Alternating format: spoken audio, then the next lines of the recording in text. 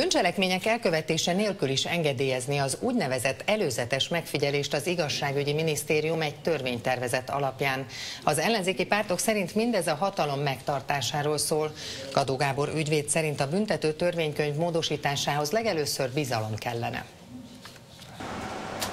A hatalom fél. Vadai Ágnes ezzel magyarázta a készülő törvényjavaslatot. A demokratikus koalíció álláspontja szerint Orbán Viktornak rendesen tele van a nadrágja, ha 10 millió magyart akar éjjel-nappal megfigyeltetni. A javaslat ugyanis lehetővé tenné, mondta a DK alelnöke, hogy a hatóságok bárkit bármikor megfigyelhessenek a bűncselekmény leghalványabb gyanúja nélkül is.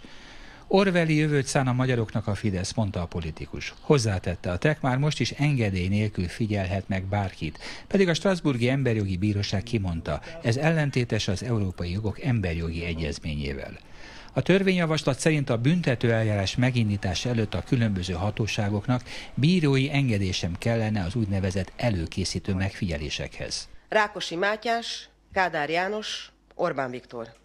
Így teljes azoknak a névsora, akik hatalmuk megtartása érdekében a saját népüket megfigyeltetik, megfigyeltették és megfélemlítik. Vadai Ágnes attól tart, hogy a Fidesz semmiképpen nem mond le az előzetes megfigyelésről. Ez egy nagyon orveli elképzelés. Így reagált a tervezetre a Jobbik alelnöke. Az Orbán kormány mindent megpróbál tenni annak érdekében, hogy a hatalmát biztosítja, és visszaéljen ezzel a hatalommal. Ennek ezen jelét mutatta az elmúlt időszakban. A párbeszéd elnökségi tagja szerint is ez a törvénymódosítás egy jogállamban teljesen elfogadhatatlan. Látszik, hogy a Fidesz a jogállam leépítésében már gyakorlatilag semmiféle korlátot nem szab magának, és egy rendőrállamot akar gyakorlatilag kiépíteni, ami lehetővé teszi, hogy az embereket megfélemlítsék.